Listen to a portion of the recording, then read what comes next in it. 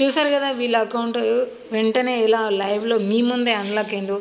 మరి మీరు కూడా సేమ్ ఇదే విధంగా మీరు కూడా అన్లాక్ అనేది చేసుకోవచ్చు. ఈ వీడియోలో చూపించిన ట్రిక్ అనేది మీరు చూస్తే. కాకపోతే స్టార్టింగ్ చూపించిన ప్రాసెస్ మాత్రం వీళ్ళ అకౌంట్ది కాదు.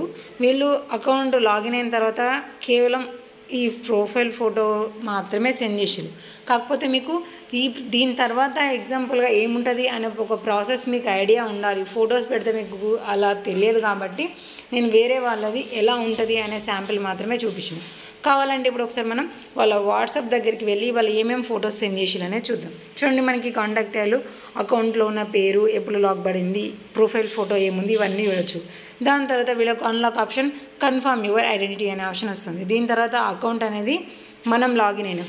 లాగిన్ అయిన తర్వాత ఈ ట్రిక్ అనేది యూజ్ చేసినాం. యూజ్ చేసిన తర్వాత వాళ్ళని లాగిన్ చేయమని చెప్పినాం.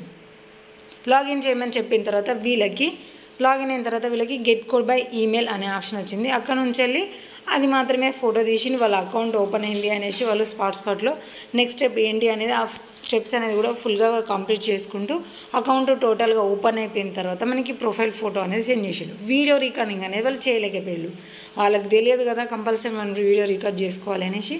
ఇప్పుడు ఇక్కడ మనం వాళ్ళది వచ్చిన ఆప్షన్ ఏంటిది? వాళ్ళ ప్రొఫైల్ ఫోటో ఏంటిది అనేది మనం వాట్సాప్లో క్లియర్గా చూడొచ్చు. మరి ఇప్పుడు వీళ్ళ అకౌంట్ గెట్ కోడ్ ఆప్షన్ వచ్చి అకౌంట్ ఓపెన్ కావడానికి మనం చేసిన ట్రిక్ ఏంటి అనేది ఇప్పుడు మనం చూద్దాం. కాబట్టి వీడియోని స్కిప్ చేయకుండా చూడండి. ఇలాంటి ట్రిక్స్ ఎన్నో మీరు మిస్ కాకుండా చూడాలంటే ఛానల్ని తప్పకుండా సబ్స్క్రైబ్ చేసుకొని ఆల్ నోటిఫికేషన్ ఆన్ చేయండి. వీడియో ఎండింగ్లో అలా వెళ్ళిపోకుండా ఒక లైక్ షేర్ చేయడం మర్చిపోకండి. What type of ID does Facebook accept అని ఉంది కదా? ఈ ఆప్షన్ మీద క్లిక్ చేయండి. క్లిక్ చేసిన తర్వాత ఇలా కొంచెం పైనకి స్క్రోల్ చేస్తే ఇక్కడ వాజ్ దిస్ హెల్ప్ఫుల్ అంటది. ఇది ఇన్ఫర్మేషన్ మనకి యూస్ఫుల్గా లేదు అని చెప్పేసి ఈ మూడింట్లో ఏది కూడా మాది కాదు. వేరే ప్రాబ్లం అని చెప్పి ఇక్కడ మన ప్రాబ్లమ్ని క్లియర్గా మెన్షన్ చేసి సబ్మిట్ అనాలి.